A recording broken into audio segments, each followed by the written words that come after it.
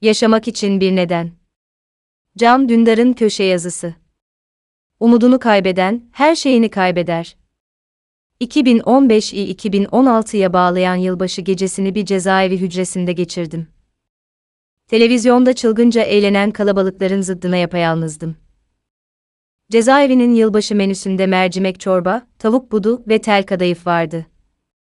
Çay bardağına vişne suyu koyup şarap süsü verdim. Ekranlar Avustralya'dan başlayarak yeni yıla girenlerin coşkusunu yansıtırken, hücre komşuma demir kapının altından, iyi seneler olsun, diye bağırdım. Birbirimize yeni yılda tahliye diledik. O ara, Victor, E. Franklin, İnsanın Anlam Arayışı kitabını okuyordum. Kitapta anlatılan toplama kampının başhekimi, 1944'ün son haftasıyla 1945'in ilk günleri arasında, kampta ölümlerin büyük artış gösterdiğini fark etmişti. Oysa iş ağırlaştırılmış, yiyecekler bozulmamış, yeni bir salgın başlamamıştı. Yine de ölümler artmıştı, çünkü tutsaklar, yılbaşına kadar evlerinde olacaklarına dair safça bir ümide kapılmıştı. Yeni yıl yaklaştıkça beklentiler hayal kırıklığına dönüşmüş, ümidini yitiren tutsakların direnme gücü kırılmış, yaşama tutunamaz hale gelmişlerdi.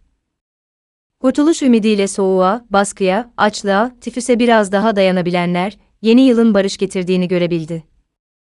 Kitap, hayatın anlamını kaybetmenin, hayatı kaybetmek anlamına geldiğini anlatıyordu.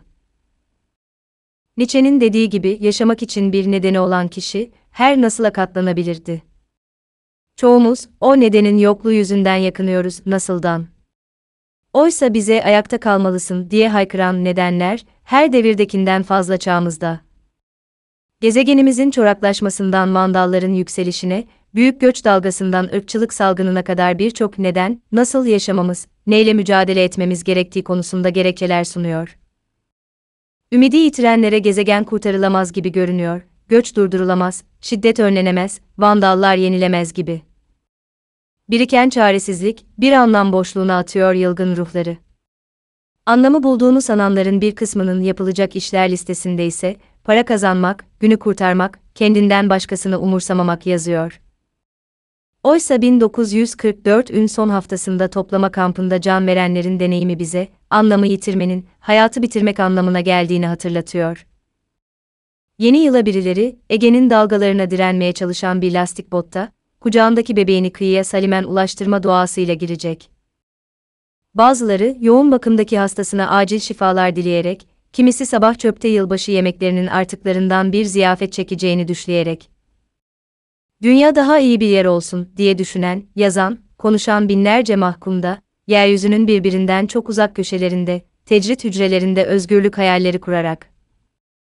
O bebek Ege'de boğulursa, o hastaya yardım eli uzanmazsa, çöpte yiyecek arayanlara asgari bir yaşam standardı sağlanamazsa, düşünce suç olmaktan çıkarılamazsa, dünya anlamını yitirir ve bu anlam yitimi, dünya içinde ölümcül sonuçlara yol açabilir. Oysa yorgun dünyamız için umarsızca beklediğimiz barış, ummadığımız kadar yakınımızda olabilir.